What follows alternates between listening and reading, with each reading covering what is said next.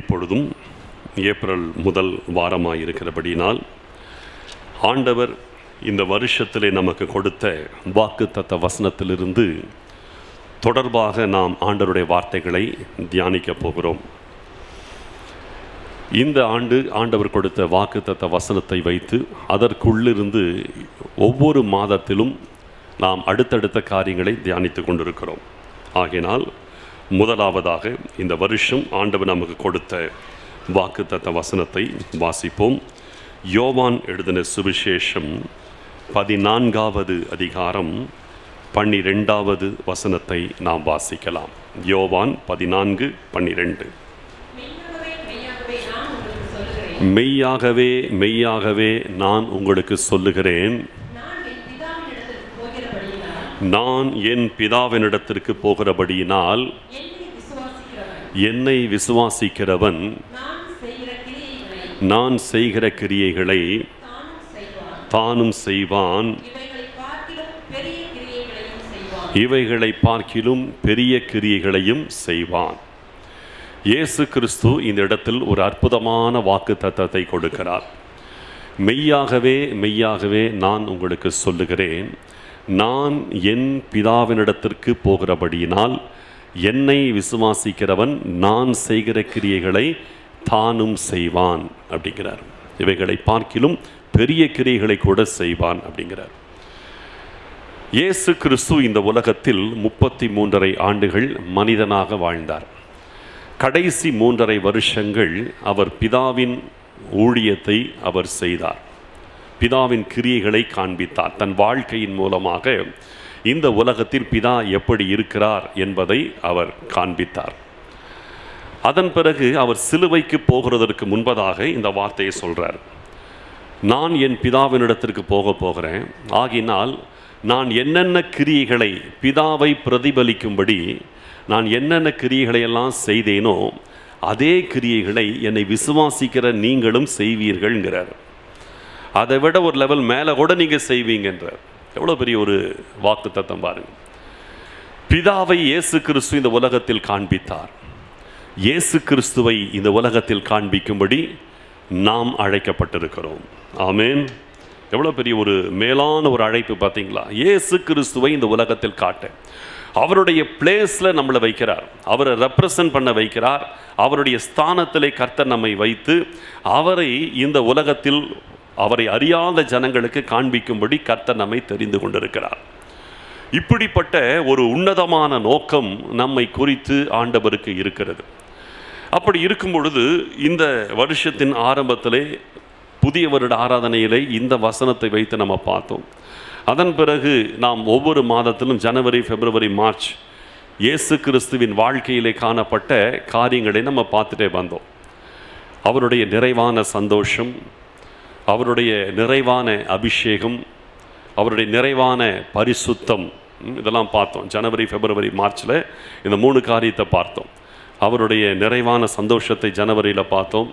அவருடைய நிறைவான பரிசுத்தத்தை குறித்து பிப்ரவரி மாதம் பார்த்தோம்.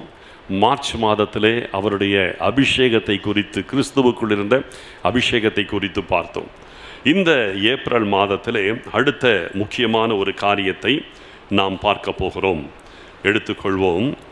மத்தேயு எழுதின சுவிசேஷம் ஒன்பதாவது அதிகாரம் முப்பத்தி ஆறு முப்பத்தி ஏழு முப்பத்தி எட்டு. மூன்று வசனங்களை வாசிக்கலாம். அவர் திரளான ஜனங்களை கண்டபொழுது கண்ட பொழுது அவர்கள் மேய்ப்பனில்லாத அவர்கள் மெய்ப்பனில்லாத ஆடுகளைப் போல தொய்ந்து போனவர்களும் தொய்ந்து போனவர்களும் சிதறப்பட்டவர்களுமாய் இருந்தபடியால் சிதறப்பட்டவர்களுமாய் இருந்தபடியினால் அவர்கள் மேல் மனது உருகி தம்முடைய சீஷர்களை நோக்கி அறுப்பு மிகுதி வேலையாட்களோ கொஞ்சம் ஆதலால் எஜமான் அறுப்புக்கு எஜமான் தம்முடைய அறுப்புக்கு வேலையாட்களை அனுப்பும்படி அவரை வேண்டிக் கொள்ளுங்கள் என்றார் அவரை வேண்டிக் கொள்ளுங்கள் என்றார். இந்த இடத்தில் பார்க்கும் பொழுது இயேசு கிறிஸ்து திரளான ஜனங்களை பார்க்கிறார். ஒரு பெரும் கூட்ட ஜனங்களை அவர் சந்திக்கிறார். அப்பொழுது அந்த ஜனங்களுடைய நிலை அவருக்கு மிகப்பெரிய ஒரு வேதனை உண்டு பண்ணுகிறது.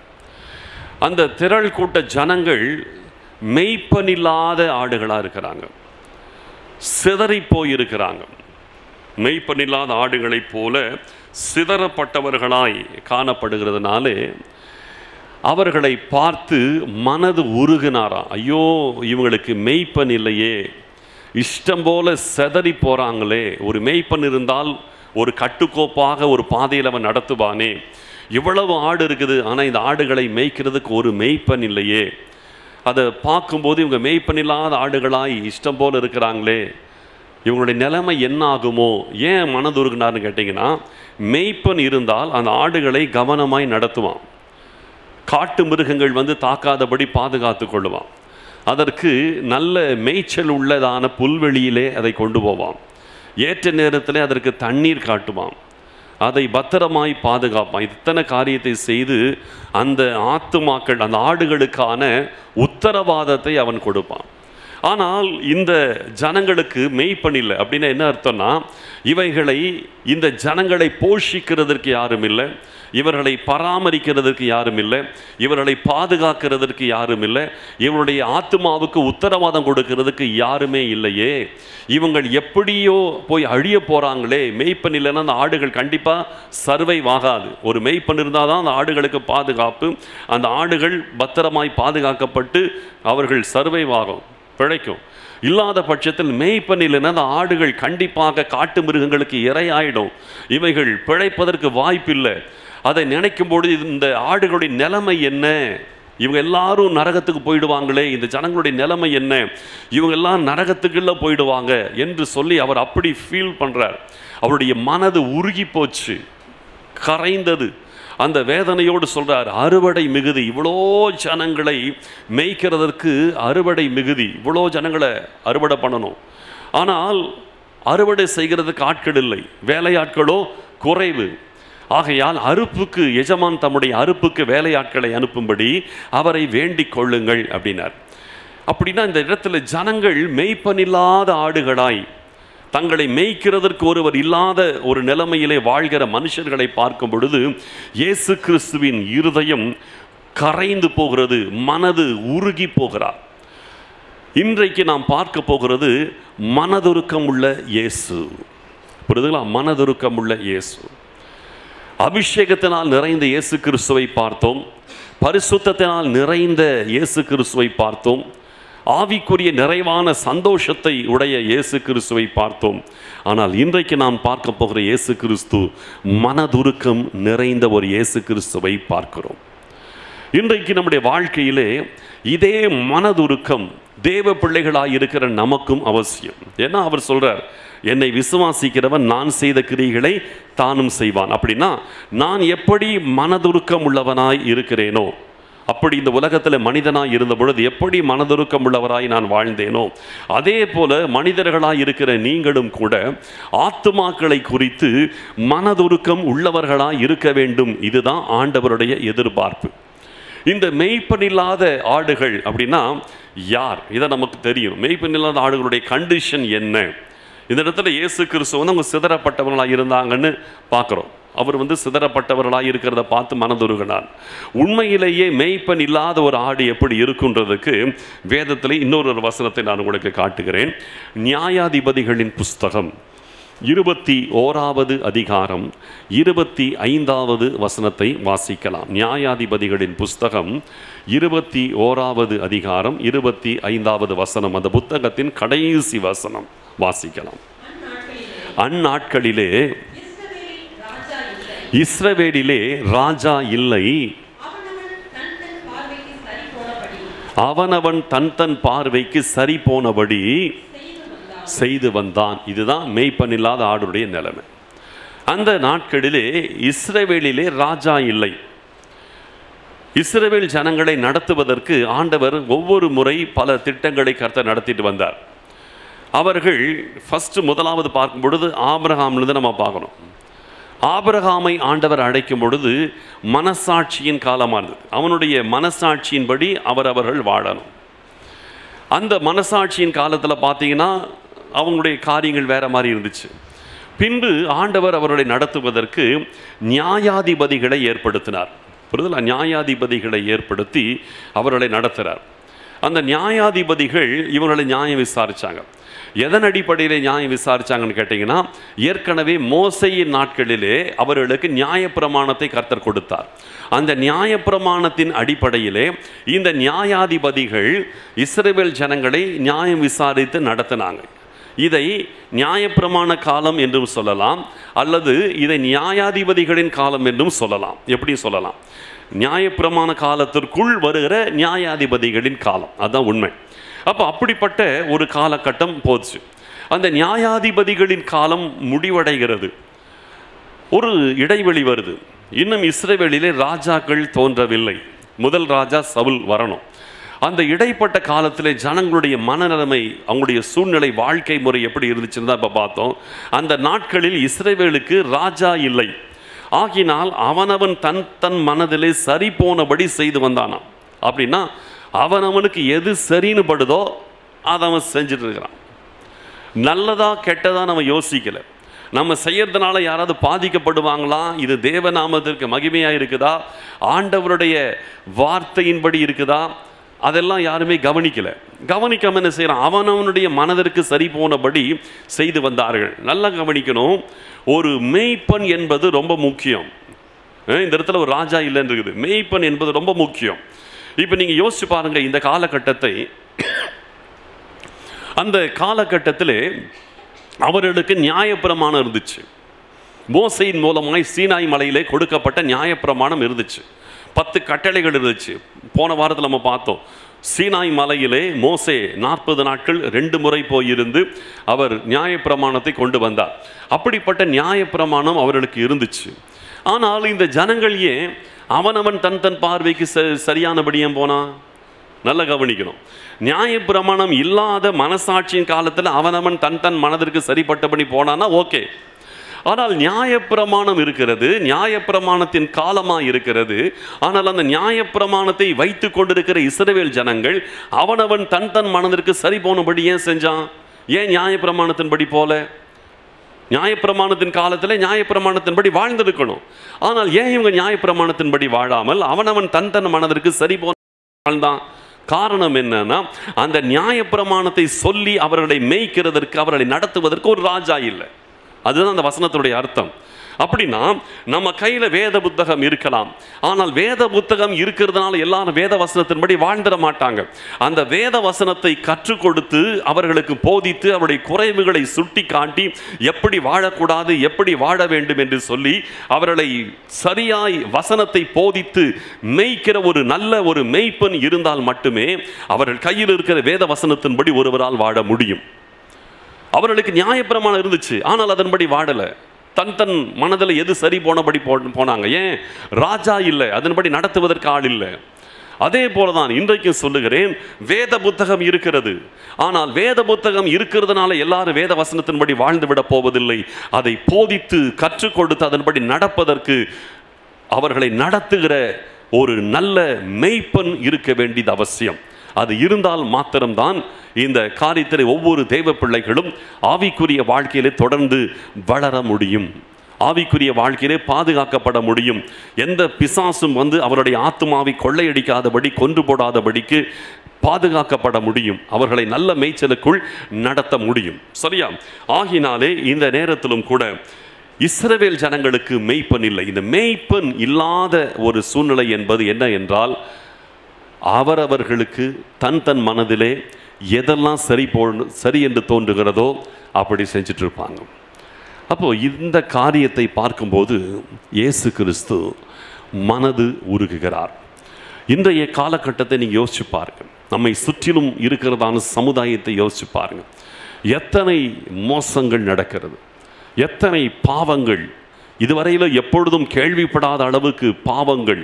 அருவருப்புகள் அசுத்தங்கள் விக்கிரக ஆராதனைகள் மற்றும் பலவிதமான தவறான காரியங்கள் எவ்வளவு தூரம் மனுஷனுடைய வாழ்க்கையிலே சம்பவித்து கொண்டிருக்கிறது.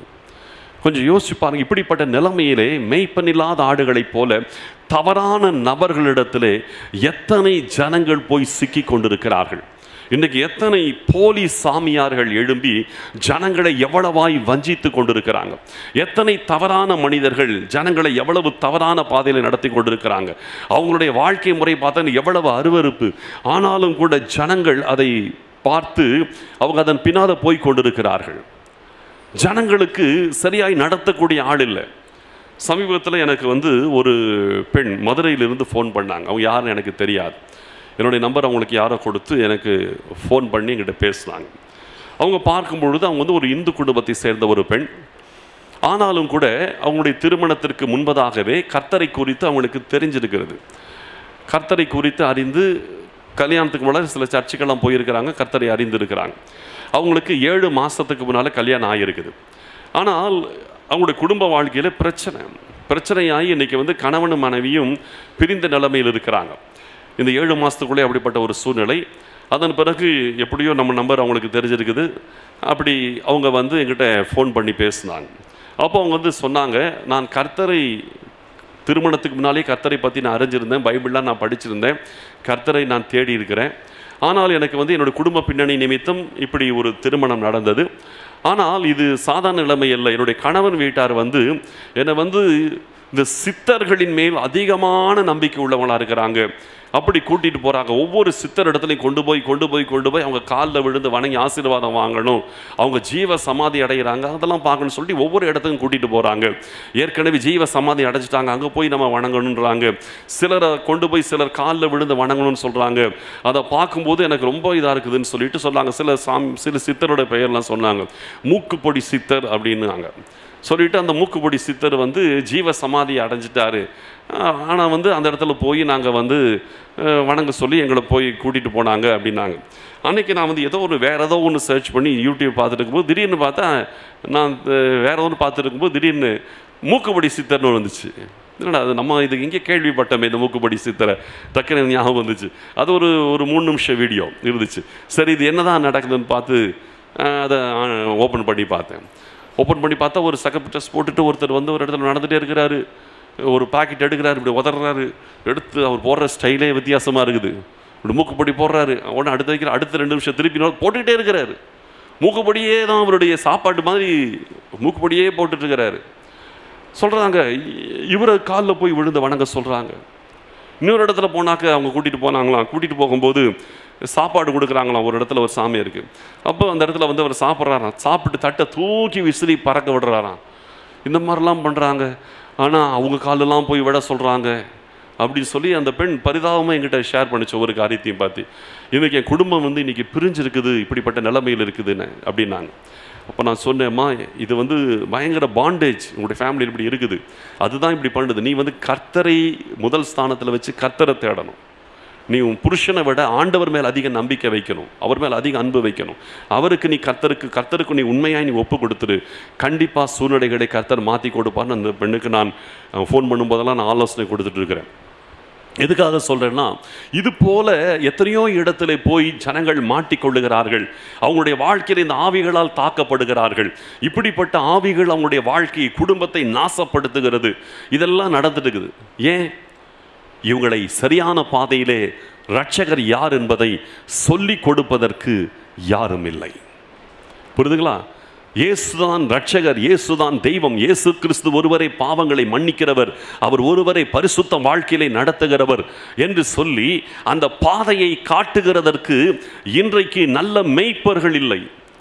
அப்போ நம்ம எல்லாருமே ஆண்டவருக்காக ஜனங்களை மெய்க்கிறவர்களாக எழும்பணும். ஏன்னா ஆண்டவர் அன்னைக்கே சொல்லிட்டார் அறுவடை மிகுதி வேலையாட்களோ கொஞ்சம்ட்டார். இந்த காரியம் அன்னையிலிருந்து இன்னைக்கு வரைக்கும் கொஞ்சமாக தான் இருக்குது. நல்லா புரியுதா உங்களுக்கு? மற்ற எல்லாத்துக்குமே வேலைக்கு ஆள் தேவையில்லை. எல்லாம் ஃபுல்லுன்னுவாங்க ஆனால் ஆண்டவருடைய வேலை ஆத்தும அறுவடை செய்கிறதற்கு மட்டும் வேக்கன்சி எப்பவுமே இருக்குது. ஆமேன் எப்பவுமே அதற்கு ஆண்டவர் ஆத்துமாக்கள் வேண்டும் அதுக்கு ஆட்கள் தேவைங்கிறார். அறுவடை செய்யறதுக்கு ஆட்கள் தேவைங்கிறார். எவ்வளவு ஆத்துமாக்கள் நரகத்துக்கு போகிறது மெய்ப்பனில்லாத ஆடுகளைப் போல் இருக்கிறது. அந்த ஆத்துமாக்களை எல்லாம் அறுவடை செய்து பரலோகத்திற்கு நேராய் திருப்புவதற்கு இன்றைக்கும் ஆட்கள் தேவைங்கிறார். இங்கே இருக்கிற அத்தனை பேருமே மெய்ப்பர்களாக எழுப வேண்டும்.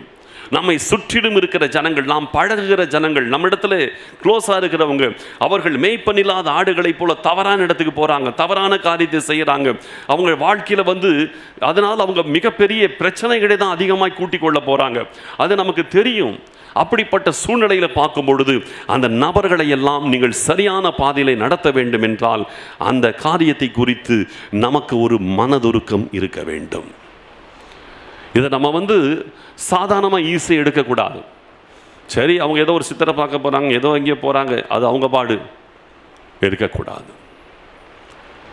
ஒருவர் தவறான பாதையில் போகிறார்கள் என்றால் மெய்ப்பன் இல்லாத ஆடுகளைப் போல தவறான பாதையில் நரகத்தை நோக்கி அவனுடைய வாழ்க்கை பிரயாணித்துக் கொண்டிருக்கிறது என்றால் அவங்களுக்கு சரியான பாதையை கொண்டு வருவதற்கு நமக்கு அந்த ஆத்துமாவை குறித்து மனதுருக்கம் இருக்க வேண்டும். தெரியுமா? மனதுருக்கம் இருக்கணும். எவ்வளவோ பேர் தவறான பாதையிலே சிக்கி கொடுக்குறாங்க நம்ம சர்ச்சுக்கு ஆரம்பத்திலே ஒரு தம்பி வந்துட்டு இருந்தான். ஆர சபை ஆரம்பிக்கப்பட்ட ஆரம்பத்திலேயே அந்த தம்பி பார்த்தீங்கன்னா ஒரு இந்து குடும்பத்தில் சேர்ந்தவன். அப்படி இருக்கும்போது அவனுக்கு ஒரு ஆன்மீக வாஞ்சை மட்டும் அவனுக்கு ஜாஸ்தி. அந்த ஆன்மீக வாஞ்சை இருந்த சூழ்நிலையிலே அவன் கர்த்தரை அறியாத பொழுது இந்த சாய்பாபா இடத்திற்கு அவன் வந்து போயிட்டான். போய் அவன் அவ்வளவு தீவிரமாய் அவனுக்கு ஏதாவது ஒன்று பார்த்தா அப்படியே அப்படியே அப்படியே ஃபுல்லாக அப்படியே இறங்கிடுவான் அதில். உடனே அதுக்கு போயிட்டான். போயிட்டு அவரை வந்து அவ்வளோ ஈஸியாக பார்க்க முடியாது. அவன் என்னமோ போராடி ஆளை பிடிச்சில போயிட்டு கடைசியில் அவரை நேரில் போய் பார்த்துட்டான். பார்த்து காலில் விழுந்துட்டான். காலில் விழுந்து காலை கட்டி பிடிச்சிக்கிட்டான். நீங்கள் தான் தெய்வம். நீங்கள் தான் என்னை நடத்தணும் என்று அவர் காலில் விழுந்து கட்டி பிடிச்சிட்டான். நீங்கள் தான் அப்படின்ட்டு சரண்டர் ஆகிட்டான் அதன் பிறகு அவன் தன்னோட வீடு எல்லாத்தையும் நினைக்கல. அங்கேயே இருக்க ஆரம்பிச்சான். இந்த இடத்த விட்டு நான் போக மாட்டேன்னு சொல்லி அங்கேயே தங்க ஆரம்பிச்சிட்டான். தங்க ஆரம்பித்து அதில் அவன் அப்படியே பொசஸ் ஆயிட்டான். அப்போ அவன் இடத்துல இருந்து அந்த இடத்துல அவன் இருக்கும்பொழுது அதை சிலர் அங்கே இருக்கிறவங்களே சிலர் கவனிச்சிருக்கிறாங்க. இந்த பையன் ஏன் இவ்வளோ தூரம் தீவிரமாய் வந்து இதில் இப்படி தன்னை ஈடுபடுத்தி கொண்டிருக்கிறானே என்று சொல்லி பார்த்து சிலர் அங்கே இருக்கிறவங்களே சொல்லியிருக்கிறாங்க தம்பி வேண்டாம்ப்பா நீங்கள் இருக்காத நீ போயிடு. வேண்டாம் இது உனக்கு நல்லதில்லை வேண்டாம் நீ போயிடுன்னு சொல்லி அங்கே இருக்கிற ஒரு சிலர் அவனுக்கு புத்திமதி சொல்லி அவனை அங்கிருந்து வலுக்கட்டாயமாய் போக சொல்லிட்டாங்க. போக சொன்ன பிறகு அவன் இங்கே சென்னைக்கு வந்து இங்கே தங்கியிருந்து நம்முடைய சபையிலிருந்து ஒரு ஒருத்தர் மூலமாக அவன் கத்தரி குறித்து கேள்விப்பட்டு சபைக்கு வந்தான். அப்போ பார்த்தீங்கன்னா அவனுடைய வாழ்க்கையிலே அதுக்கு பிறகு அவனுக்காக நான் எத்தனையோ முறை ஜெபிச்சிருக்கிறோம். பயங்கர ஸ்பிரிட் அவன் மேலே இருக்கும். என்னதான் துரத்தினாலும் கீழே விடுவான் போராடுவான். ஆனாலும் கூட அந்த ஸ்பிரிட்டில் அவனுக்கு வெளியில் வரவே முடியல. அவ்வளவு தூரம் அந்த ஆவியின் ஆதிக்கம் அவன் மேலே இருந்துச்சு. அவனுடைய வாழ்க்கையில் அவ்வளவு பாதிப்பு. ஏன் சொல்கிறேன்னு கேட்டிங்கன்னா தவறான ஒரு இடத்துல போய் ஒருவன் மாட்டிக்கொண்டால் அந்த ஆவிகளால் அவங்க அந்த அளவுக்கு ஆக்கிரமிக்கப்படுகிறார்கள். அவங்கள காப்பாற்றுறது அவ்வளோ ஒன்றும் ஈஸி இல்லை. அவ்வளோ தூரம் அங்கே போய் சிக்கி கொள்கிறாங்க இப்படி இருக்கும் பொழுது இதெல்லாம் நம்ம பார்க்கும் பொழுது நம்ம யாரையுமே மெய்ப்பனில்லாத ஆடுகளாய் தவறான ஒரு பாதையில் ஒருத்தவங்க போகிறாங்கன்னா கண்டிப்பாக அவங்களுக்கு நாம் ஆண்டவரை குறித்து பேசணும். ஆண்டவரை குறித்து சொல்லி அவர்களை சரியான பாதையிலே நடத்துகிற ஒரு நல்ல மெய்ப்பராக ஒவ்வொருவரும் காணப்பட வேண்டும். ஆமேன். ஒவ்வொருவரும் காணப்படணும். உங்களுடைய நண்பர்கள் உங்களுடைய தெரிந்தவர்கள் உங்களுக்கு பழகினவங்க அவங்க தப்பான பாதையில் போனால் அவங்களுக்கு சரிப்படுத்துவதற்கு தான் கர்த்தர் அவங்கள உங்களிடத்துல பழக விடுறாரு. புரியுதா? அதை நீங்கள் இழந்துடக்கூடாது. ஏன்னா அறுவடை மிகுதி வேலையாட்கள் கொஞ்சம். இப்போ நீங்கள் யோசிச்சு பாருங்கள் நீங்கள் வேலை செய்கிற இடத்துல நீங்கள் இருக்கிற இடத்துல அவிசுவாசிகள் அதிகமாக விசுவாசிகள் அதிகமாக யோசிச்சு பாருங்கள் அவிசுவாசிகள் தான் அதிகம். ஆண்டவரை அறியாதவர்கள் தான் அதிகம். அப்போ அவங்க எல்லாரையுமே சரியான பாதையில் கொண்டு வர்றது தான் கர்த்தர் உங்களை அங்கே வைக்கிறார். அதற்காகவே கர்த்தர் நம்மளை வைக்கிறார். ஆகையினால் இந்த நாட்களிலே ஒரு தேவ பிள்ளை நம்முடைய வாழ்க்கையில் எந்த ஒரு ஆத்துமா தவறான பாதையில் போகிறார்கள் என்றால் மனது நமக்கு அதை குறித்து உருக வேண்டும். ஒரு பாரம் வரணும். இந்த மனது உருக்கொண்ட வார்த்தைக்கு சரியான விதத்தில் எனக்கு வந்து வார்த்தையில் விளக்கம் கொடுக்க முடியல. ஆனால் பைபிளில் நீங்கள் பார்த்தீங்கன்னா எங்கெல்லாம் இங்கே மனதுருக்கம்னு ஒன்று வருதோ அங்கெல்லாம் பார்த்தீங்கன்னா ஆண்டவருடைய கிரியைகள் வெளியரங்கமாக இருக்கும். புரியல இன்னைக்கு நான் நிறைய பேச போகிறதில்ல ஒரு மூணே மூணு தான் சொல்ல போகிறேன் முதலாவது ஆத்துமாக்களை குறித்து இயேசு கிறிஸ்துவுக்கு மனதுருக்கம் இருந்துச்சு. இந்த மனதொருக்கம் உண்மையிலேயே பார்த்தீங்கன்னா ஆண்டவருக்கு நேராக கிரியைகளை நடப்பிக்கும். இயேசு கிறிஸ்து அவருடைய வாழ்க்கை முழுவதுமே மனதுருக்கத்தினால் நிறைஞ்சிருந்தார். எல்லா ஆங்கிளையும் அவருக்கு மனதுருக்கம் இருந்துச்சு. ஆனால் இன்னைக்கு நமக்கு எதை குறித்தும் மனதுருக்கமே இல்லாத ஒரு வாழ்க்கை வாழக்கூடாது. அட்லீஸ்ட் ஏதாவது ஒரு பகுதியிலேயாவது நமக்கு மனதுருக்கம் இருக்கணும். ஆமேன் மனதுருக்கமே இல்லாமல் யாரோ எப்படியோ போட்டும் அப்படி வாழக்கூடாது. உங்களை கர்த்தர் ஏதோ ஒரு பின்னணியிலிருந்து தெரிந்து கொண்டிருப்பார். அந்த பின்னணியில் பாதிக்கப்பட்டவர்களாக இருக்கிறவங்கள போது உங்கள் இருதயம் உருக வேண்டும். உங்கள் இருதயம் அதற்காக தவிக்க வேண்டும். அதற்காக நீங்கள் ஜெபிக்கணும். அதற்கு நீங்கள் ஏதாவது செய்யணும். என் லைஃப்பில் கடந்த ரெண்டு வரு- போன வருஷம் இல்லை அதுக்கு முந்தின வருஷம். ரெண்டாயிரத்தி பதினாறாவது வருஷம் ரெண்டாயிரத்தி பதினேழாவது வருஷம். ரெண்டு வருஷமும் மரணத்தின் விளிம்புக்கு போயிட்டு வந்தேன். பதினாறாவது வருஷத்தில் போன ஏப்ரல் இந்த இந்த ஏப்ரல் தான் ரெண்டாம் தேதி ஹார்ட் அட்டாக் வந்து மரணத்தின் விளிம்பு வரைக்கும் போயிட்டு வந்தேன். ரெண்டாயிரத்தி பதினேழில் ஆகஸ்ட் பதினாறாம் தேதி மோசமான ஒரு விபத்தை சந்தித்து மகா பெரிய ஒரு என்ன சொல்கிறது ரத்தத்தில் தோய்ந்து நிலைமையில் தோஞ்சு எழுந்து கத்தருடைய கிருபையினால் உயிரோடு வந்தேன். இந்த சம்பவம் ரெண்டு சம்பவம். இந்த ரெண்டு சம்பவத்துலேயுமே ரெண்டு தடவை நான் வந்து ஆம்புலன்ஸில் கொண்டு போகப்பட்டேன். சைரன் சைரனோட ஆம்புலன்ஸில் கொண்டு போகப்பட்டேன். நான் ஹார்ட் அட்டாக் வந்த போதும் சரி. அந்த ஆக்சிடென்ட் நடந்த பொழுது நான் ஆம்புலன்ஸில் கொண்டு போகப்பட்டது எனக்கு மெமரி போயிடுச்சு. ஆனால் அந்த ஆம்புலன்ஸ் இறங்கும்போது சைரன் சத்தம் மட்டும் தான் தெரிஞ்சுது. நான் ஆம்புலன்ஸில் போகிறேன்ட்டு அது மட்டும் தான் ரெக்கக்னைஸ் பண்ண முடிஞ்சுது. மெமரி இல்லாத நிலைமையில தான் போனேன். ஆனால் இன்றைக்கி வரைக்கும் சொல்கிறேன் அதுக்கு பிறகு இந்த சம்பவத்துக்கு பிறகு நான் எங்கேயாவது ரோட்டில் போயிட்டுருக்கும்போது நான் வண்டியில் போயிட்டு இருந்தாலும் சரி ரோட்டில் போயிட்டு இருந்தாலும் இந்த ஆம்புலன்ஸ் சைரனோடு போகுதுன்னா என் உள்ளம் உடனே தவிக்கும். என்ன அறியாமல் ஜெபம் ஆண்டவரே ஏதோ ஒருத்தர் வந்து யாரோ ஒருத்தர் உயிருக்கு போராடிட்டு போயிட்டுருக்குறாங்கப்பா இந்த ஜீவன் உம்முடைய பார்வையில் அருமையாக இருக்கட்டும் ஆண்டவரே. இந்த ஜீவன் போயிடக்கூடாது.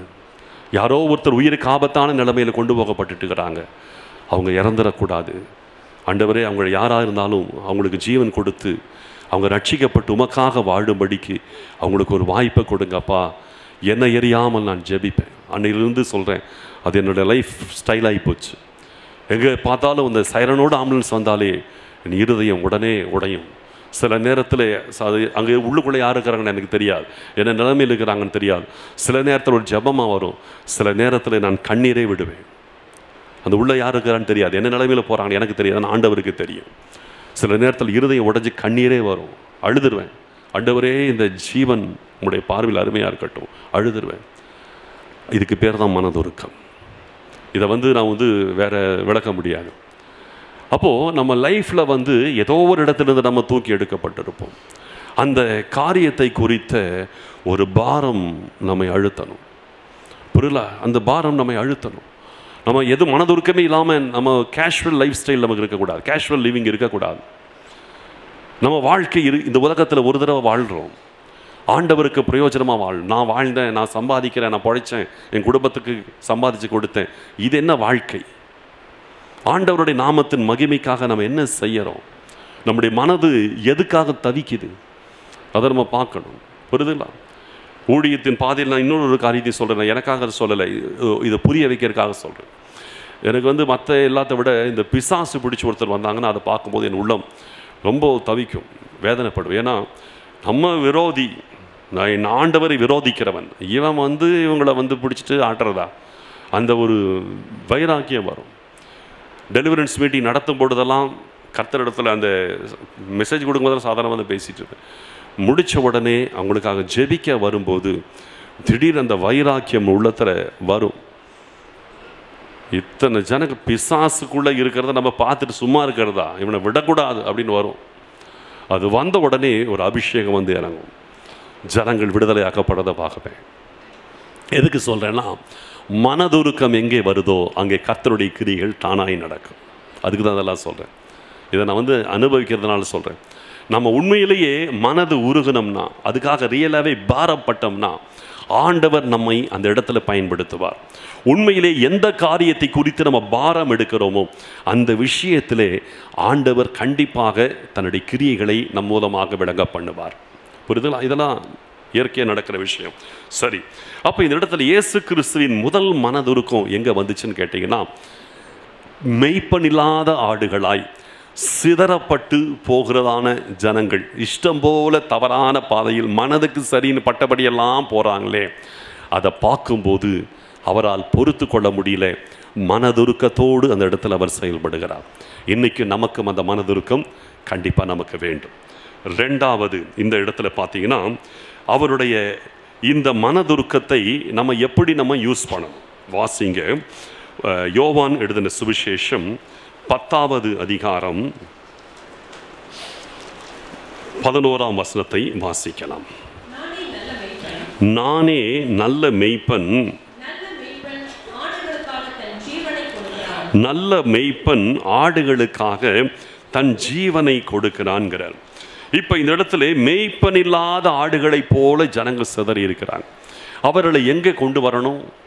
நல்ல மெய்ப்பன் ஒரே ஒருத்தர் தான். ஆமென். நானே நல்ல மெய்ப்பன் நான் மட்டும்தான். நானேனா நான் மட்டும்தாங்கிறார். நான் மட்டும்தான் நல்ல மெய்ப்பன் அப்படி இருக்கும் பொழுது நல்ல மெய்ப்பன் தன் ஆடுகளுக்காக ஜீவனை கொடுக்கிறான்றார். அப்போ இதிலிருந்து நம்ம என்ன செய்யணும்னா தவறான பாதையிலே ஒருத்தர் போகிறதை பார்க்கும் பொழுது அவர்களுக்கு இயேசு கிறிஸ்துவை நீங்கள் கண்டிப்பாய் சொல்ல வேண்டும். மெய்ப்பனிடத்துல கொண்டு வந்து சேர்க்கணும். காஸ்பல் ஒர்க் செய்யணும். அதுதான் மனதுருக்கத்தின் அடையாளம். நீங்கள் பார்க்கிற நபர்கள் ஒவ்வொருவருக்கும் காஸ்பல் ஒர்க் பண்ணணும். சுவிசேஷத்தை சொல்லணும். நீங்கள் சொல்லாட்டி அவங்க நரகத்துக்கு போயிடுவாங்க. மெய்ப்பன் இல்லாவிட்டால் அந்த ஆட்டுக்கு உத்தரவாதம் இல்லை. அதனுடைய ஜீவனுக்கு உத்தரவாதம் கிடையாது. காட்டு மிருகங்கள் பீறி போடும். பட்டினி கிடந்து சாகும். அதனாலே கண்டிப்பாக நல்ல மேய்ப்பன். இப்போ இந்த நல்ல மேய்ப்பனுடைய அடையாளத்தை இந்த பத்தாம் அதிகாரத்தை பார்த்து ரொம்ப அருமையாக இருக்குது. ரெண்டாம் வசனத்திலிருந்து வாசிக்கலாம்.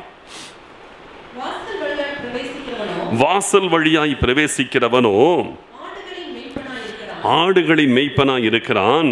வாசலை காக்கிறவன் அவனுக்கு திறக்கிறான் வாசலை காக்கிறவன் அவனுக்கு திறக்கிறான் ஆடுகளும் அவன் சத்தத்துக்கு செவி கொடுக்கிறது ஆடுகளும் அவன் சத்தத்திற்கு செவி கொடுக்கிறது. இங்கே ஆண்டவர் ப்ராமிஸ் பண்ணுறாரு நான் நல்ல மெய்ப்பன் என் சத்தத்துக்கு ஆடுகள் செவி கொடுக்கும்.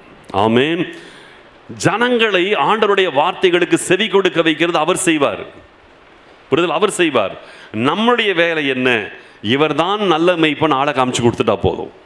அவங்கள செவி கொடுக்க வைக்கிறது கர்த்தருடைய காரியம். அவங்கள செவி கொடுக்க வைப்பார். அதெல்லாம் நம்ம பண்ண வேண்டியது கிடையாது. இவர்தான் நல்ல மெய்ப்பன் என்று இயேசு கிறிஸ்துவை அறிமுகப்படுத்துகிற வேலையை நம்ம கட்டாயம் செய்யணும். அடுத்தது. அவன் தன்னுடைய ஆடுகளை பெயர் சொல்லி கூப்பிட்டு பாருங்க இந்த மேய்ப்பனுடைய காரியம் இண்டிவிஜுவல் கேர் தனிப்பட்ட விதத்தில் அவன் கவனிக்கிறான். பெயர் சொல்லி அழைத்து அவைகளை வெளியே கூட்டி கொண்டு போகிறான். அப்படின்னா ஒவ்வொரு நபர்கள் நீங்க எத்தனை பேரை நம்ம ஆண்டவரிடத்தில் கொண்டு வந்து விட்டாலும் அத்தனை நபர்களுக்கும் தனித்தனியாய் கர்த்தர் கவனிக்கிறதுல கர்த்தர் நமக்கு வந்து உத்தரவாதம் கொடுக்கிறார். நீ என்கிட்ட கொண்டு வந்து விடு. ஒவ்வொரு தனி நபர்களையும் நான் கவனிப்பேன். அவங்கள நானே வெளியே கொண்டு போவேன். நானே அவர்களுக்கு மெய் வெளியே கொண்டு போவேன். எதுக்கு? மேய்ச்சலுக்காக நான் அவங்கள நடத்துவேங்கிறார். அடுத்தது அவன் தன்னுடைய ஆடுகளை வெளியே விட்ட பின்பு ஹம். அவைகளுக்கு முன்பாக நடந்து போகிறான் இதுதான் அடுத்தது மெய்ப்பனுடைய அடுத்த ஒரு காரியம். அவைகளுக்கு முன்பாக நடந்து கொள்ளுகிறான். அப்படி நடந்து போகிறான் என்ன அர்த்தம்? இயேசு கிறிஸ்து ஒருவரே சரியான முன்மாதிரி வாழ்க்கையை நமக்கு வைத்திருக்கிறார். முன்னால நடந்து போறான்? அப்படின்னு என்ன அர்த்தம்? முன்மாதிரி வாழ்க்கை வச்சிருக்கிறார்? இன்னைக்கு பார்க்கும் பொழுது தெய்வங்கள் என்று சொல்லுகிறதான எதற்குமே முன்னே நடக்கிறதான தகுதி கிடையாது. முன்மாதிரியான வாழ்க்கை எதுக்குமே கிடையாது. எல்லா காரியங்களுக்கும் அசுத்தமான அருவருப்பான சரித்திரம் தான் இருக்கிறதே தவிர சரியான முன்மாதிரி சரித்திரம் இயேசு கிறிஸ்து ஒருவருக்கு மட்டுமே உண்டு. முன்மாதிரி வாழ்க்கை அதான் முன்னே நடக்கிறேங்கிறார். அப்ப இயேசு கிறிஸ்து நம்ம ஜனங்களை மேய்க்கிறவர் மட்டுமல்ல தன் வாழ்க்கையிலே ஒரு முன்மாதிரியை வைத்திருக்கிறார். இப்படிப்பட்ட மேய்ப்பினிடத்தில் நம்ம கொண்டு வரணும். அடுத்தது. ம். அப்போ பாருங்க இந்த இதெல்லாம் ப்ராமிஸ் ஆடுகள் வந்து அவருக்கு பின் செல்லும்படிக்கு நான் பார்த்துக்குவேங்கிறார். நீ கொண்டு வந்து விடு. நான் பின்னால நடக்க வைப்பேங்கிறார். அடுத்தது. ம். அந்நியனுக்கு பின் செல்லாமல் அவர்களை விட்டு ஓடி போகும் என்றார். எங்கிட்ட கொண்டு வந்து விடு. வேற இடத்துக்கு போகாதபடிக்கு நான் பார்த்துக் கொள்வேன். இதெல்லாம் ஆண்டவர் சொல்றார். அப்ப இன்றைக்கு நாம் செய்ய வேண்டிய காரியம் கர்த்தரை அறியாமல் மனம் போன போக்கிலே வாழ்கிற எந்த நபரை நீங்கள் பார்த்தாலும் அவர்களுக்கு கர்த்தரே நல்ல மெய்ப்பன் என்பதை கண்டிப்பாக நம்ம சொல்லணும். அதுதான் உண்மையான மனதுருக்கத்தின் அடையாளம். இதே அதிகாரத்தில் ஒரு அருமையான ப்ராமிஸ் ஒன்று சொல்றார். பதினாறாவது வசனத்தை மட்டும் வாசிப்போம். இந்த தொழுவத்தில் உள்ளவைகளை அல்லாமல் வேறே ஆடுகளும் எனக்கு உண்டு வேறே ஆடுகளும் எனக்கு உண்டு அவைகளையும் நான் கொண்டு வர வேண்டும் அவைகளையும் நான் கொண்டு வர வேண்டும். அவைகள் என் சத்தத்திற்கு செவி கொடுக்கும். அப்பொழுது ஒரே மந்தையும் ஒரே மெய்ப்பனும் ஆகும் என்ன ஒரு அற்புதமான ப்ராமிஸ் இது. இந்த தொழுவத்திலிராத வேறே ஆடுகளும் எனக்கு உண்டு. இப்போ இந்த தொழுவங்கிறது எதுனா இஸ்ரேவேல் ஜனங்களை சொல்கிறார் இந்த தொழுவத்தில் உள்ளவைகளை அல்லாமல் வேறே ஆடுகளும் எனக்கு உண்டு. அதுதான் புறஜாதிகள் நம்மளை பற்றி பேசுகிறார் எங்கே பேசுகிறார் பாருங்க, இந்த இடத்துல நம்மளை பற்றி பேசுகிறார் இஸ்ரேவேல் ஜனங்களிலிருந்து ஒரு கூட்டத்தை நான் தெரிந்து கொண்டது மட்டுமல்ல புறஜாதி ஜனங்களிலிருந்து ஒரு தொழுவம் எனக்கு உண்டு. வேறு ஆடுகளும் எனக்கு உண்டு. இந்த ஆடு எப்படி இருக்குமா? அவைகள் நான் அவைகளையும் நான் கொண்டு வர வேண்டும். அவைகள் என் சத்தத்திற்கு செவி கொடுக்கும். அப்பொழுது ஒரே மந்தையும் ஒரே மெய்ப்பனுமாகுங்கிறார் அவைகளையும் நான் கொண்டு வரணும். யாரை கொண்டு கொண்டு வருவார்? நம்மளை வச்சு தான் ஆண்டவர் கொண்டு வரணும். வேறே ஆடுகள் நம்முடைய தேசத்தில் நிறைஞ்சிருக்குது. அதை நம்ம ஆண்டவரிடத்தில் கொண்டு வரணும். இந்த புறஜாதி ஜனங்களை குறித்து ஆண்டவர் சொல்கிறாரு அவைகள் எனக்கு செவி கொடுக்கும். ஆமேன். என்ன ஒரு ப்ராமிஸில் புறஜாதி ஜனங்கள் எனக்கு செவி கொடுப்பாங்கன்றார். திட்டமாய் வாக்கு கொடுக்கிறார். புறஜாதி ஜனங்களை கொண்டு வா. அவைகள் எனக்கு செவி கொடுக்கும். அவங்க எனக்கு செவி கொடுப்பாங்க. அப்பொழுது நான் ஒரே மந்தையும் ஒரே மெய்ப்பனாக எல்லா மந்தையும் ஒண்ணாக்கி நான் பரலோகத்தில் சேர்த்துருவேங்கிறார். ஆகையினால் இன்றைக்கு நம்முடைய மனதுருக்கம் ஆத்துமாக்களை குறித்து இருக்கணும். ரட்சிக்கப்படாத மனம் போன போக்கில் வாழ்கிற எந்த நபரை பார்த்தாலும் அவங்க கண்டிப்பாக அவங்களுக்கு கத்தரை பற்றி பேசுங்க. விதைச்சிருங்க. ஆண்டவர் ஏற்ற நேரத்தில் அறுவடை செய்வார். விதைச்சிருங்க. சொல்ல வேண்டியதை சொல்லிடுங்க. அவங்க தப்பான பாதையில் போகிறத சொல்லிடுங்க. ஏற்றுக்கொள்ளுகிறதற்கு ஒருவேளை அவகாசமாகலாம். ஆனால் ஆண்டவர் நீங்கள் விதைச்சதை வீணாக்க மாட்டார். ஆமேன். விதைச்சது வீணாகாது. கண்டிப்பாக அந்த ஆத்மாவை கத்தர் பிடிப்பார். சரி ரெண்டாவது மனதுருக்கம் இயேசு கிறிஸ்துவுக்கு எங்கே இருந்துச்சு? வாசிக்கலாம். லூக்கா எழுதின சுவிசேஷம் ஏழாவது அதிகாரம் பதினோராம் வசனத்திலிருந்து வாசிக்கலாம் மறுநாளிலே அவர் நாயின் என்னும் ஊருக்கு போனார் அவருடைய சீஷர் அநேகரும் திரளான ஜனங்களும் அவருடனே கூட போனார்கள் அவர் ஊரின் வாசலுக்கு சமீபித்த போது மரித்து போன ஒருவனை அடக்கம் பண்ணும்படி கொண்டு வந்தார்கள். அவன் தன் தாய்க்கு ஒரே மகனாயிருந்தான். அவளோ கைம்பெண்ணாய் இருந்தாள்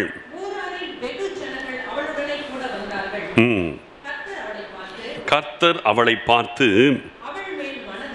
அவள் மேல் மனது உருகி அழாதே என்று சொல்லி கிட்ட வந்து பாடையை தொட்டார். அதை சுமந்தவர்கள் நின்றார்கள். வாலிபனே எழுந்திரு என்று உனக்கு சொல்லுகிறேன் என்றார்.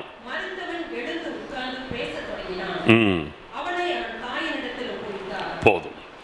இங்கே பார்க்கும் பொழுது நாயின் என்கிறதான ஊருக்கு சமீபத்தில் இயேசு கிறிஸ்து வரார். ஊருக்குள்ளிருந்து ஒரு அடக்காராதனை ஒரு வாலிபன் மரித்து போனவனை அடக்கம் பண்ணுவதற்கு கொண்டு வராங்க. அப்படி கொண்டு வரும் பொழுது இயேசு கிறிஸ்து அந்த அடக்காராதனையை வழியில் சந்திக்கிறார். அந்த மறித்து போன வாலிபனுடைய தாய் ஏற்கனவே தன் கணவனை இழந்தவள். அவள் ஒரு விதவை. ஊராரில் வெகு ஜனங்கள் அவளோடு கூட வந்தாங்கன்னு போட்டிருக்கு. அப்படி இருக்கும் பொழுது இயேசு கிறிஸ்து அந்த பெண்ணை பார்த்து மனது உருகிட்டானாம் மனது உருகி அழாதேன்னு சொல்லி கிட்ட வந்து பாடையை தொட்டு வாலிபனை எழுந்திருனாரு அவன் உயிர் வந்தது. ரெண்டாவது இயேசு கிறிஸ்து யாரை குறித்து மனது உருகுகிறார்னு கேட்டிங்கன்னா இருதயம் உடைஞ்சு நொறுங்கி போனவர்கள். இன்னைக்கு நம்ம பழகுகிற சமுதாயத்தில் எத்தனை பேருடைய லைஃப் பார்த்தீங்கன்னா இருதயம் உடஞ்சி நொறுங்கி போன நிலைமையில் எவ்வளோ பேர் இருக்கிறாங்க. வெளியிலே சிரித்து கொண்டிருக்கிறாங்க. உள்ளே அழுது கொண்டிருக்கிற நொறுங்கி போன நிலைமையில் எத்தனையோ பேர் இருக்கிறாங்க. வெளியில் பார்த்தா தெரியாது. ஆனால் உள்ளுக்குள்ளே உடஞ்ச நிலைமையில் இருக்கிறாங்க. சில மாதங்களுக்கு முன்பாக நான் சோழிங்கநல்லூர் என்ற இடத்துல ஒரு சபையிலே மூன்று நாட்கள் கன்வென்ஷன் போயிருந்தேன். அதில் நான் முதல் நாள் கூட்டத்தில் பேசும் பொழுது என்னை அறியாமல் ஒரு வார்த்தை சொன்னேன். இன்னைக்கு நிறைய பேர் வெளியில் சிரிச்சிட்டு இருக்கிறீங்க ஆனால் உள்ளுக்குள்ளே அழுதுட்டு இருக்கிறீங்க அப்படின்னு. சொல்லிட்டு நான் பிரசங்கி அந்த மெசேஜுக்கு நடுவில் அந்த ஒரு வார்த்தையை சொன்னேன். அதன் பிறகு நான் மெசேஜ் தொடர்ந்துகிட்டே இருந்தேன். அந்த கூட்டத்தில் ஒரு பெண் அழுகிறாங்க அழுகிறாங்க அழுகிறாங்க. நான் நினச்சேன் இன்னமும் ப்ராப்ளம் போடுன்னு நினச்சிட்டு இருந்தேன். இளம் பெண் தான். ஒரு ஐடி கம்பெனியில் வேலை செய்கிற ஒரு இளம் பெண். அப்படி அழுதுட்டா. முதல் நாள் கூட்டம் முடிச்சுது அந்த பெண் ஜெபிக்க வரல. நான் வந்து ஜெபிக்க வந்தவங்ககிட்ட மட்டும் ஜெபிச்சு அனுப்பிட்டேன். ரெண்டாவது நாள் கூட்டத்துலேயும் அந்த பெண் அப்படியே உட்காந்து அழுதுகிட்டே இருக்கிறான் மூணாவது நாள் கூட்டத்துலையும் பார்க்குறேன் அந்த பெண் அப்படியே உட்காந்து அழுதுட்டு இருக்கிறா. அந்த பெண் அந்த க- கூட்டத்தில் அந்த சர்ச்சில் முக்கியமான ஒரு பெண் கொயரில் இருக்கிறா. நல்ல ஒரு ஐடி கம்பெனியில் நல்ல ஒரு பொசிஷனில் இருக்கிற ஒரு பெண். மூணாவது நாள் கூட்டம் முடிஞ்ச உடனே தனியை ஜெபம் பண்ணும்போது கடைசியில் அந்த பெண்ணு வந்து நின்னா. வந்து நின்றுட்டு நீங்கள் முதல் நாள் சொன்னீங்க. நிறைய பேர் வெளியில் சிரிச்சிட்டு இருக்கிறீங்க உள்ளே அழுதுட்டு இருக்கிறீங்கன்னு அது என் வாழ்க்கைக்கு அப்படியே பொருந்தும். நான் வெளியில் சிரிச்சிட்டு இருக்கிற யாருக்கும் என்னுடைய சூழ்நிலை தெரியாது. என் குடும்ப சூழ்நிலை அவ்வளவு ஒரு கொடிய ஒரு நிலைமையில் இருக்குது. என்னுடைய திருமணமாகாத பெண் தான். தாயை இழந்து விட்டாள். குடும்பத்தில் பல பிரச்சனைகள். அப்படி இருக்கும்போது அவ்வளோ உடஞ்ச நிலைமை. வெளியில் வந்து சிரிச்சிட்டு இருக்காங்க. இன்றைக்கி நிறைய பேர் அப்படி தான் அதன் பிறகு அந்த பெண்ணுக்கு நான் நம்முடைய சர்ச் மெசேஜஸ் எல்லாம் லிங்க்ஸ் எல்லாம் அனுப்புனேன். அதெல்லாம் ரெகுலராக அவள் கேட்க ஆரம்பித்து இன்றைக்கி அவளோட ப்ராப்ளம் எல்லாத்தையும் கத்தர் சால்வ் பண்ணி கொடுத்துட்டார். கேட்க ஆரம்பிச்சோன்னு விசுவாசத்தை கத்தர் கொடுத்தார். சில ஆலோசனை கொடுத்தேன். பிரச்சனை எல்லாம் சால்வ் ஆகிடுச்சுன்னு அப்புறம் ஒரு நாள் எனக்கு மெசேஜ் அனுப்பினான். எதுக்காக சொல்கிறேன்னு கேட்டிங்கன்னா இன்றைக்கி நம்மை சுற்றிலும் எத்தனை பேர் வெளியில் சிரித்தாலும் உள்ளுக்குள்ளே உடஞ்சிருக்கிறாங்க. உள்ளுக்குள்ள அவ்வளவு வேதனை அவ்வளவு கண்ணீர் அவ்வளவு பிரச்சனை. ஆனால் நமக்கு நிச்சயமாக சொல்கிறேன் நம்மளை வந்து கர்த்தர் எதுக்காக வச்சுருக்கிறாருன்னா அந்த உடஞ்சி போன உள்ளங்களை எல்லாம் கர்த்தர் நம்மக்கிட்ட ரிவீல் பண்ண வைப்பார். அவங்க வேறு யாருக்கிட்டையும் ஓப்பன் பண்ண மாட்டாங்க. ஒருவர் உண்மையிலேயே கர்த்தருக்காக வாழ்கிறாங்கன்னு தெரிஞ்சால் அவங்க கிட்ட வந்து ஜனங்கள் தங்கள் இருதயத்தை திறந்து கொட்டுறதுக்கு ரெடியாக இருக்கிறாங்க. நம்ம வாழ்க்கை ஆண்டவருக்கு முன்பாக சாட்சியாக இருந்தால் ஜனங்கள் தங்கள் இருதயத்தின் வேதனையை வந்து கொட்டுகிறதற்கு அடியாக இருக்கிறாங்க. யார்கிட்ட போய் கொட்டுறதுன்னு தெரியல. யாரை நம்பி சொல்லலாம்னு ஜனங்களுக்கு தெரியல. யார்கிட்ட தங்களுடைய உண்மையான வேதனையை ஷேர் பண்ணலான்னு தெரியாமல் தவிச்சிட்டு இருக்கிறாங்க. நீங்கள் கர்த்தருக்கு முன்பாக சரியான நம்ம சாட்சியை நிற்பமான நம்மை சுற்றிலும் இருக்கிற உடஞ்ச உள்ளங்களை கர்த்தர் நமக்கு முன்பாக கொண்டு வருவார். இந்த பெண்ணுடைய நிலைமை பார்த்தீங்கன்னா ஏற்கனவே கணவனை இழந்து விட்டவள். அவளுக்கு இருந்ததெல்லாம் ஒரே ஒரு நம்பிக்கை இந்த மகன்தான். அந்த மகனை அவள் சிறு வயதிலிருந்து தன் கணவன் இல்லாத நிலைமையில் அவள் வளர்த்துருப்பா கஷ்டத்தோடு வளர்த்துருப்பா. வளர்த்து இப்போ வாலிப பருவத்துக்கு வளர்த்துட்டா. இனிமே தான் அவளுக்கு வந்து ஒரு நிம்மதி தன்னுடைய கஷ்டத்துக்கெல்லாம் ஒரு விடிவு காலம் வரப்போகுது. அந்த சூழ்நிலையிலே அந்த மகனை அவள் இழந்து போயிட்டா. அவளுடைய லைஃப்ல இது மிகப்பெரிய ஒரு இழப்பு. அவளுக்கு இருந்த ஒரே நம்பிக்கை அந்த மகன் தான் அந்த மகனையும் அவள் இழந்து விட்டாள். யோசிச்சு பாருங்க அவளுக்கு இருந்த ஒரே ஹோப் அவன் தான் அந்த ஹோப்பும் போயிடுச்சு. இனி அவளுக்கு இந்த உலகத்தில் யாருமே இல்லை. கணவன் இல்லை பிள்ளையும் இல்லை எல்லாம் போச்சு. இனி என்ன இருக்குது? அவளுடைய வாழ்க்கை இனி அவளுக்கு வந்து எல்லாமே போயிடுச்சு. உலகத்தில் இனி அவள் இருண்டு போன ஒரு சூழ்நிலை. அவளுடைய நிலைமை அந்த ஊரார் எல்லாருக்கும் தெரிஞ்சிருக்குது. அதனால தான் பார்த்தீங்கன்னா அந்த ஊரே அவளுக்காக துக்கம் கொண்டு ஐயோ இவருடைய வாழ்க்கையில் இவ்வளவு பெரிய ஒரு இழப்பு வந்துருச்சு கணவனை இழந்தவள் இந்த பையனையே நம்பி இருந்தாலே அவனும் இறந்து போயிட்டானே. அவளுடைய துக்கத்தை அந்த ஊரார் ஜனங்கள் எல்லாம் அறிந்திருந்ததுனால தான் ஊராரில் வெகு ஜனங்கள் அந்த அடக்காராதனைக்கு வந்திருக்கிறாங்க. யோசிச்சு பாருங்க. ஊராரில் வெகு ஜனங்கள் அந்த அடக்காராதனையில் பங்கு பெற்றாங்கன்னா அவன் மேலே அவ்வளவு பேருக்கு ஒரு கரிசனை இருந்துச்சு. ஐயோ இவ இவ்வளவு தூரம் எல்லாத்தையும் இழந்துட்டாலே இனி இவளுக்கு என்ன இருக்குது லைஃப்பில் ஆனால் அந்த மனதுருக்கம். புரிதுங்களா? இயேசு கிறிஸ்துவின் மனதுருக்கம் இழந்தவைகளை அவளுக்கு திரும்ப பெற்றுக் கொடுத்தது. நாம உண்மையிலேயே சொல்கிறேன் கேர் எடுக்கணும். கேர் எடுக்கணும். எத்தனை பேருடைய வாழ்க்கையில் எல்லாத்தையும் இழந்து நிற்கிறாங்க அதை பார்த்து அவங்களுக்கு நம்ம ஆண்டவரை பற்றி சொன்னால் ஆண்டவரால் மட்டும்தான் அவங்க வாழ்க்கை நிலைநிறுத்தப்படுமே தவிர வேறு எந்த விதத்திலும் அவங்களுடைய வாழ்க்கை நிலைநிறுத்தப்படாது. இல்லைன்னா அவங்க வந்து தற்கொலை பண்ணிடுவாங்க. இல்லைன்னா அவங்களோட வாழ்க்கை ஒன்றுமில்ல ஆகிடும் நம்ம தான் அவங்களுக்கு சொல்யூஷன் கொடுக்கணும். பல வருஷங்களுக்கு முன்பாக நான் ஒரு சபையில் அசிஸ்டன்ட் பாஸ்டாக இருந்த பொழுது அந்த சபையிலே ஒரு குடும்பம் வந்துச்சு. இது வந்து எயிட்டிஸில் நடந்த விஷயம். ஸ்ரீலங்காவில் பிரச்சனை வந்தபோது குடும்பமாக ஸ்ரீலங்காவை விட்டு பெயர்ந்து தமிழ்நாட்டுக்குள்ளே வந்தாங்க அகதிகளாக வந்தாங்க. கணவன் மனைவி ரெண்டு பேர் அவங்க மட்டும்தான். வந்து இங்கே சூளமேட்டில் ஸ்டே பண்ணாங்க. அதனால் நான் இருந்த அந்த சர்ச்சுக்கு வந்து வந்தாங்க. திருமணமாகி ஒரு சில ஆண்டுகள் அவங்களுக்கு ஆயிருந்தது. ஆனால் குழந்தையே இல்லை. இங்கே சர்ச்சுக்கு வந்து ஆண்டவரை அவங்க ஏற்றுக்கொண்டாங்க. அதன் பிறகு ஒரு குழந்தை ஒன்று கன்சீவ் ஆச்சு. கடைசியில் அந்த குழந்தை பிறக்கிற நேரத்தில் நல்லா இருந்தது. பிறக்கிற நேரத்தில் ஏதோ காம்ப்ளிகேட் ஆகி அந்த குழந்தை இறந்து பிறந்தது. அவ்வளோ எதிர்பார்ப்போடு இருந்து கடைசியில் அந்த குழந்தை பிறக்கும்போது இறந்து பிறந்துச்சு. அவங்க ரொம்ப எதிர்பார்த்துருந்தாங்க ரொம்ப வேதனையாச்சு. ஆனால் தொடர்ந்து அவங்கள தேற்றி நாங்கள் ஜபிக்க ஆரம்பித்தோம் அதன் பிறகு மீண்டும் ஒரு ஒன்று ரெண்டு வருஷம் ஆச்சு. அடுத்த ஒரு குழந்தை ஒன்று பிறந்தது. ஃபஸ்ட்டு இறந்தது வந்து ஆண் குழந்தை இறந்துச்சு. அடுத்தது ஒரு பெண் குழந்தை நல்லா பிறந்துச்சு. அதன் பிறகு அவருடைய கணவர் இங்கே அவர் சும்மா தான் இருந்தார். அங்கே அகதியாக வந்தவங்க. அதன் பிறகு வெளிநாடுகளே பல தேசங்களிலே அவங்க வந்து காண்டாக்ட் வச்சு எங்கேயாவது இப்போ யூரோப்பியன் கண்ட்ரீஸ்லலாம் ஸ்ரீலங்கன் பீப்புளுக்கு வந்து நல்லா ரிசீவ் பண்ணி அவங்களுக்கு வேண்டியதெல்லாம் கொடுக்குறாங்க. நம்ம நாட்டில் தான் அவங்கள வந்து கீழ்த்தரமாக நடத்துறது. யூரோப்பியன் கண்ட்ரீஸ்லாம் ஜெர்மனியில் சுவிட்சர்லாண்டில் அங்கெல்லாம் பார்த்தீங்கன்னா அவங்களுக்கு நல்ல விதத்தில் கவர்மெண்ட்டே அவங்களுக்கு வேண்டியதெல்லாம் கொடுக்குது. அப்படிப்பட்ட சூழ்நிலையில் ஒரு வேலை தேடி ஜெர்மனிக்கு இங்கே கிளம்பி போனார். போனவர் அதன் பிறகு அவர் திரும்பவே இல்லை. அங்கே ஏதோ ஒரு சூழ்நிலைகளையாச்சு அவர் திரும்பவே இல்லை. அப்படிப்பட்ட சூழ்நிலையிலே இந்த பெண் குழந்தை இவங்க வளர்த்து வளர்த்து அந்த பிள்ளை வந்து ஸ்கூலில் சேர்த்தாங்க. இங்கே செவன்த் டே ஸ்கூலில் தான் சேர்த்தாங்க. சேர்த்து அந்த பிள்ளை எல்கேஜி படித்து முடிக்கிறது.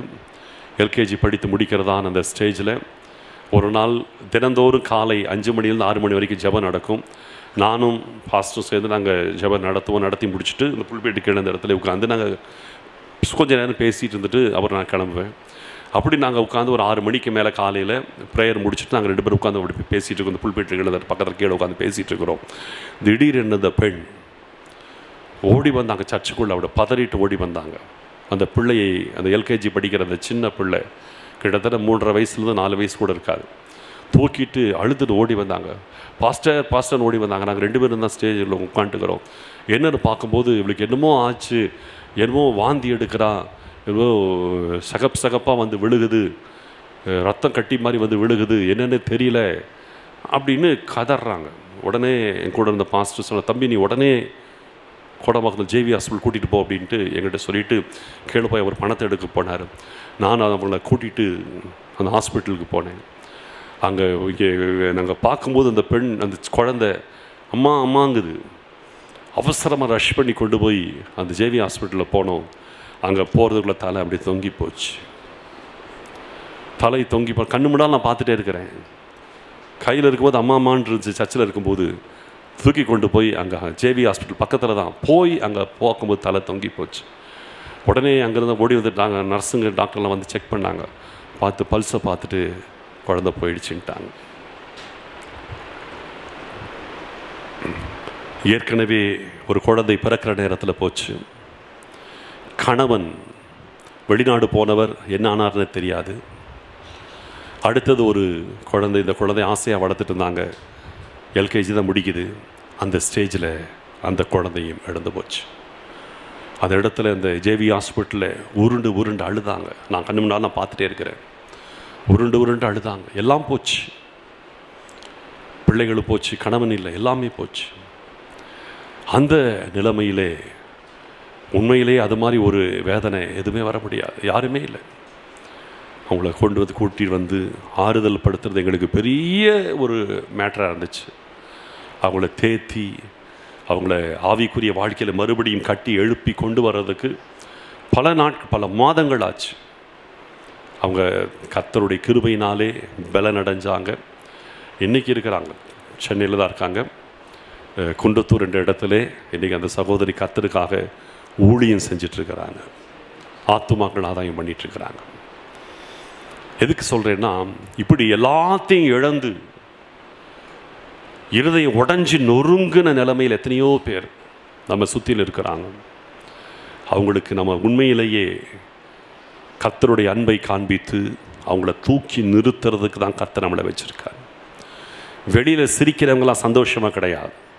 உங்கள் கூட இருக்கிறவங்க கூட பழகிறவங்க உங்களோட வா கூட வேலை செய்கிறவங்க வெளியில் சிரிக்கிறாங்க. சந்தோஷமாக இல்லை உள்ளுக்குள்ளே அவங்க வாழ்க்கையில் ஆயிரம் பிரச்சனை இருக்கிறது. நிம்மதி இல்லை சந்தோஷம் இல்லை. புரிதலா அவ்வளோ ஒரு வேதனையோடு ஜனங்களுடைய வாழ்க்கை இருக்குது. அவங்கள எல்லாம் கொண்டு வர்றதுக்கு தான் கத்தை நம்மளை வச்சிருக்கிறார். அவங்களை குறித்து ஒரு மனதுருக்கம் நமக்கு இருந்தாதான் அப்படிப்பட்ட உடைந்த உள்ளங்களை ஆண்டவருக்குள் நம்ம கொண்டு வந்து நிலைநிறுத்த முடியும். அதனால் எல்லாத்தையும் இழந்து அழுது கொண்டிருக்கிறவர்களுக்கு நம்ம மனதுருக்க வேண்டும். ஆமேன். ரெண்டாவது முக்கியம். மூணாவது ஒன்று சொல்லி நான் முடிக்கிறேன். மத்தேயு எழுதுகிற சுவிசேஷம் எட்டாவது அதிகாரம் முதல் நான்கு வசனங்களை வாசிக்கலாம். அவர் மலையிலிருந்து இறங்கின போது திரளான ஜனங்கள் அவருக்கு பின் சென்றார்கள் அப்பொழுது குஷ்டரோகி ஒருவன் வந்து அப்பொழுது குஷ்ரோகி ஒருவன் வந்து அவரை பணிந்து ஆண்டவரே உமக்கு சித்தமானால் என்னை சுத்தமாக்க உம்மால் ஆகும் என்றான். இயேசு தமது கையை நீட்டி அவனை தொட்டு எனக்கு சித்தம் உண்டு சுத்தமாகு சுத்தமாக என்றார். உடனே குஷ்டரோகம் நீங்கி அவன் சுத்தமானான்.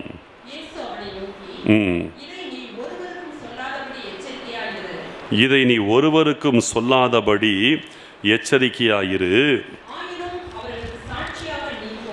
ஆகிலும் அவர்களுக்கு சாட்சியாக நீ போய் ஆசாரியனுக்கு உன்னை காண்பித்து ஆசாரியனுக்கு உன்னை காண்பித்து மோசே கட்டளையிட்ட காணிக்கையை செலுத்து என்றார். இதே வேத பகுதி இன்னொரு இடத்துல நம்ம வாசிக்க போகிறோம் அப்போ இன்னும் உங்களுக்கு டீட்டெயில்ஸ் கிடைக்கும். மார்க்கு எழுதின சுவிசேஷம் முதல் அதிகாரம் நாற்பதாவது வசனத்திலிருந்து வாசிக்கலாம். அப்பொழுது குஷ்ரோகி ஒருவன் அவரிடத்தில் வந்து அவர் முன்பாக முழங்கால் படியிட்டு அவர் முன்பாக முழங்கால் படியிட்டு உமக்கு சித்தமானால் என்னை சுத்தமாக்க உம்மால் ஆகும் என்று வேண்டிக் கொண்டான் உமக்கு சித்தமானால் என்னை சுத்தமாக்க உம்மால் ஆகும் என்று வேண்டிக் கொண்டான் இயேசு அந்த மனுஷனை பார்த்து மனது உருகி கையை நீட்டி அவனை தொட்டு எனக்கு சித்தம் உண்டு சுத்தமாக என்றார் சித்தமுண்டு என்றார். ம். குஷ்டரோகம் அவனை விட்டு நீங்கிற்று. அவனை சுத்தமானான்.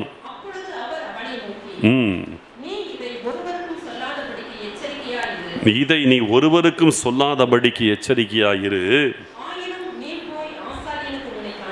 ஆகிலும் நீ போய் ஆசாரியனுக்கு உன்னை காண்பித்து நீ சுத்தமானது நிமித்தம். நீ சுத்தமானது நிமித்தம். மோசே கட்டளையிட்டிருக்கிறவைகளை மோசை கட்டளையிட்டிருக்கிறவைகளை அவர்களுக்கு சாட்சியாக செலுத்து என்று அவர்களுக்கு சாட்சியாக செலுத்து என்று உடனே அவனை அனுப்பிவிட்டார். இந்த ரெண்டு இடத்துல பார்த்தோம். மார்க்கு சுவிசேஷத்தில் சொல்கிறாரு இயேசு அவன் மேல் மனது உருகினார். மத்தே சுவிசேஷத்தில் வந்து எட்டாம் அதிகாரத்தில் இதை நம்ம படித்தோம் ஏன் அங்கே பார்த்தோம்னா மத்திய சுவிசேஷத்தில் ஐந்து ஆறு ஏழு மூன்று அதிகாரங்களும் மலை பிரசங்கம் மலை பிரசங்கத்தின் முடிவிலே இது நடக்குது. இந்த மலை பிரசங்கம் என்பது ஊருக்கு வெளியே இருந்த ஒரு மலையிலே இயேசு கிறிஸ்து ஜனங்களை அழைத்து கொண்டு போய் அங்கே அவர்களுக்கு ஒரு நீண்ட உபதேசத்தை கொடுத்தார். அதான் மலை பிரசங்கம் அந்த மலை பிரசங்கத்தை முடித்து இயேசு கிறிஸ்து மலையிலிருந்து இறங்கி வரும்போதுதான் இந்த சம்பவம் நடந்ததாக வேதம் சொல்லுது. அதனால தான் மத்திய எட்டு ஒன்றில் பார்த்தீங்கன்னா அவர் மலையிலிருந்து இறங்கின பொழுது திரளான ஜனங்கள் அவருக்கு பின் சென்றார்கள். அந்த பிரசங்கத்தை கேட்டு பின் செல்கிறாங்க அப்போ தான் இது நடக்குது. அப்படின்னா ஏன் இந்த சுச்சுவேஷன் முக்கியம் அப்படின்னு கேட்டிங்கன்னா குஷ்டரோக வியாதி உள்ளவன் இவனை கண்டு இயேசு மனது உருகினார். உருகி அவனை தொட்டு சுகமாக்கினார். எனக்கு சித்தம் உண்டு சுத்தமாகினார். இஸ்ரவேல் ஜனங்கள் இந்த சம்பவம் நடக்கிற காலகட்டத்தில் குஷ்டரோக வியாதி ஒருவனுக்கு வந்தால் அவன் ஊருக்குள் இருக்க முடியாது. அதற்கு வேத வசனம் இருக்குது நான் காட்டுறேன். லேவியராகமத்தின் புஸ்தகம் பதிமூன்றாவது அதிகாரம் நாற்பத்தி நாலு நாற்பத்தி அஞ்சு நாற்பத்தி ஆறு. அவன் குஷ்டரோகி அவன் தீட்டுள்ளவன் ஆசாரியன் அவனை தீட்டுள்ளவன் என்று தீர்க்க கடவன் ஆசாரியன் அவனை தீட்டுள்ளவன் என்று தீர்க்க கடவன் அவன் வியாதி அவன் தலையிலே இருக்கிறது. அந்த வியாதி உண்டாயிருக்கிற குஷ்டரோகி. வஸ்திரம் கிழிந்தவனாயும் தன் தலையை மூடாதவனுமாயும் இருந்து அவன் தன் தாடியை மூடிக்கொண்டு அவன் தன் தாடியை மூடிக்கொண்டிருந்து தீட்டு தீட்டு என்று சத்தமிட வேண்டும். அந்த வியாதி அவனில் இருக்கும் நாள் வரைக்கும் தீட்டுள்ளவனாக எண்ணப்பட கடவன். அவன் தீட்டுள்ளவனே. ஆகையால் அவன் தனியே குடியிருக்க வேண்டும். அவன் குடியிருப்பு பாளையத்திற்கு புறம்பே இருக்க கடவுள் கடவுது. ஊருக்கு வெளியில் இருக்கணும்ட்டார். அப்போது நியாயப்பிரமாணத்தின் காலத்தில் குஷ்டரோக வியாதி உள்ளவன் இருந்தால் அவன் தீட்டுள்ளவனாக எண்ணப்பட கடவன். அவன் தீட்டுள்ளவனே. ஆகையினாலே அவன் வியாதி அவன் தலையில் இருக்கிறது. ஆகையினால் அவன் தலையை மூடிக்கொண்டு தன்னுடைய வியாதியை மறைக்கக்கூடாது.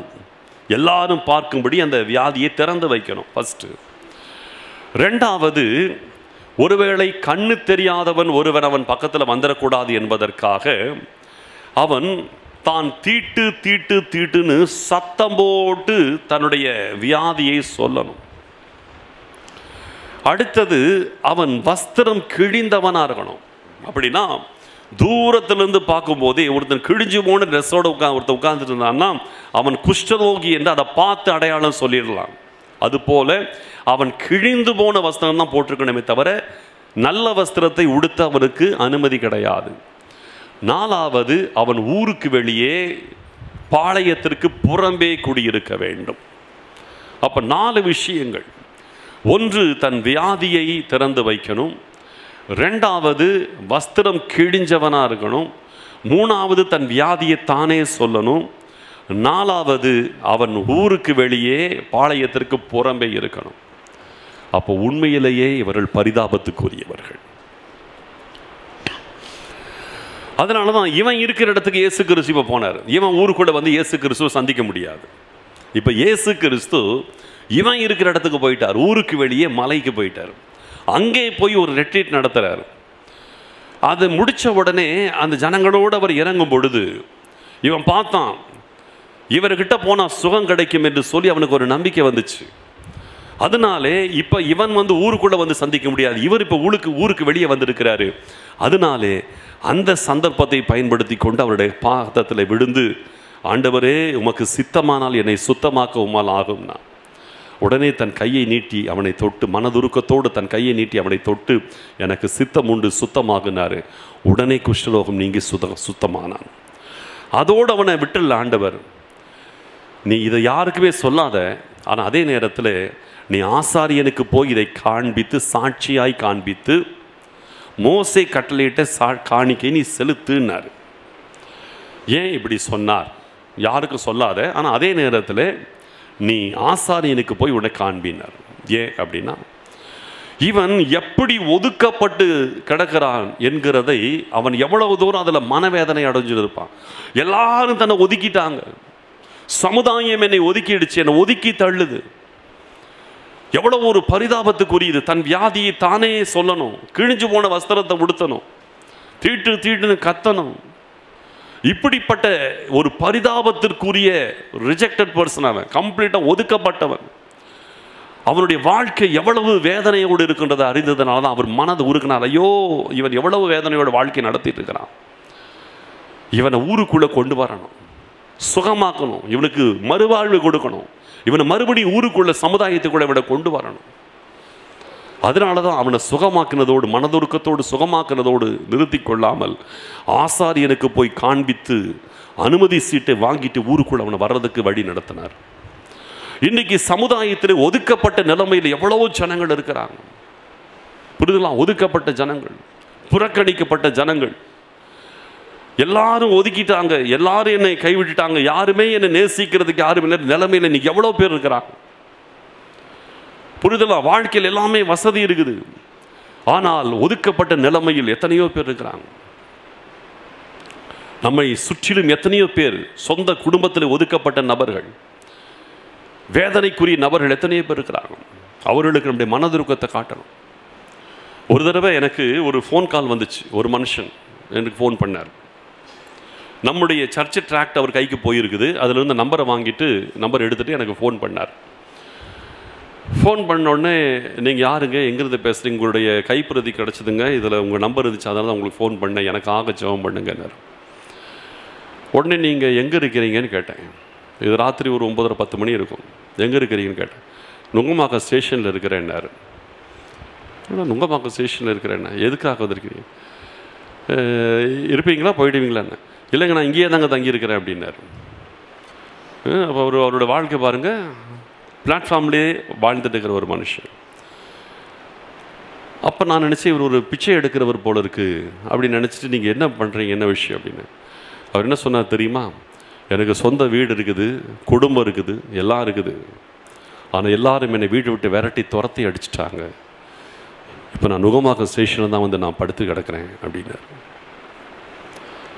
இப்போ அந்த நிலைமையிலிருந்து அந்த நபருக்கு யாராவது ஜெபிக்க மாட்டாங்களா? சொந்த வீடு இருக்குது குடும்பம் இருக்குது மனைவி இருக்குது பிள்ளைங்க இருக்குது எல்லாம் இருக்குது. ஆனால் ஒதுக்கப்பட்ட நிலைமையில் இருந்துட்டு நம்ம கைப்பிரதி கிடச்சிட்டு அங்கே பிளாட்ஃபார்மில் இருந்துட்டு ஃபோன் பண்ணுறாரு இன்றைக்கி எத்தனையோ பேருடைய வாழ்க்கை இப்படி தான் எல்லாம் இருக்குது. இருந்தும் ஒதுக்கப்பட்ட நிலைமையிலே வாழ்ந்து கொண்டிருக்கிறாங்க. அவங்களுக்கு நம்முடைய மனதுருக்கம் தேவை.